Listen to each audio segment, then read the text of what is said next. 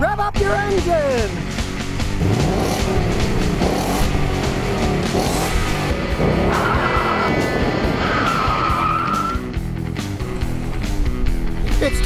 The Scotty Kilmer Channel. Today I'm going to show you what to do if your car dies on the road. Now if you're driving down the road and all of a sudden your car stops running, here's some things you can do to get back rolling again. Now the first thing to check is your gas tank. As nutty as it sounds, if you're out of gas, the car's going to die and here's the reason you want to check that first.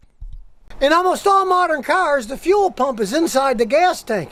Gasoline actually lubricates the fuel pump passing through it so the bearings don't burn out in the fuel pump. So if you ran out of gas and you keep cranking the engine to try to start it, and you're out of gas, the fuel pump will suck air, it'll burn the bearings out. Some of these fuel pump assemblies can cost you over a thousand bucks to replace them. So if you are out of gas, don't keep trying to start the car. Get some more gas and fill it up and go on your way.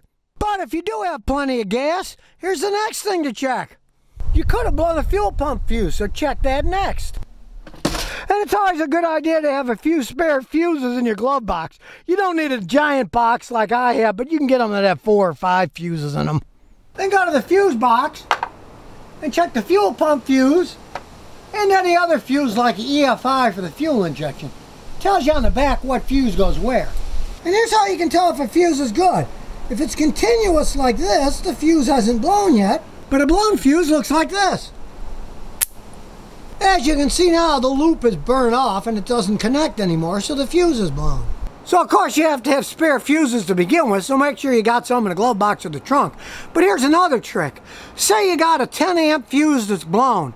Well, you could try a 15 or a 20 amp fuse just to see if it could make you home again. It really isn't going to hurt anything. And you might be able to make it home if there's a minor short that'll blow a 10 amp fuse, but not a 15 or 20. Now let's say you don't find any blown fuses. Well, you got the hood open, check the fan belts to see if any of them came off. For example, if your alternator belt had come off, the alternator will stop charging the battery, you'll run out of electricity, and the car will stop running.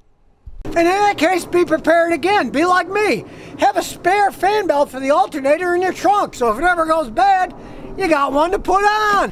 And if you really want to be prepared, you can have one of these little jump starter packs in your trunk. It can jump it after you put the fan belt on. Or if you don't have a fan belt or you can't mess with that kind of stuff, these little packs have a reasonable amount of power in them. They'll sometimes start a car and you can drive a few miles, you turn the headlights and everything off, and you might be able to make it to a gas station or someplace running on this little battery alone. Now let's say your car stopped running because the temperature gauge got the H. Now, of course, you'd have to wait till the engine cooled down before you could do anything, but once it cools down, if you're prepared like me and have a spare jug of coolant in the trunk, once it's cooled down, add the coolant to the radiator, then you can start it up, turn the heater on full blast, and then drive while you watch the temperature gauge to make sure it doesn't go back up to the H. And here's how that works. The heater core is a small radiator. So if you run the heater, that helps dissipate any extra heat.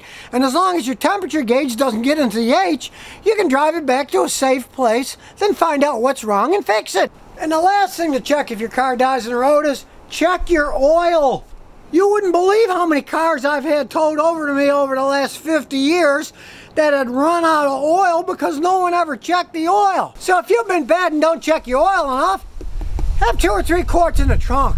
So if you do get stuck somewhere and you're out, you can pour some in.